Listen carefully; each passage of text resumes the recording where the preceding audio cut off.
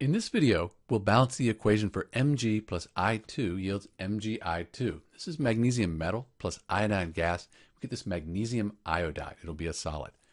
First, let's count up the atoms on each side of the equation, then balance it. It's not written, but we have one magnesium atom here, two iodine atoms, and then again one magnesium. It's not written, but we assume that to be one, two iodine atoms. And you can see that this equation is balanced. We have the same number of each type of atom on both sides. So we're done. The reason we end up with this MgI2 and not just MgI is that Mg, magnesium, that's in group 2 on the periodic table. It has a 2 plus ionic charge.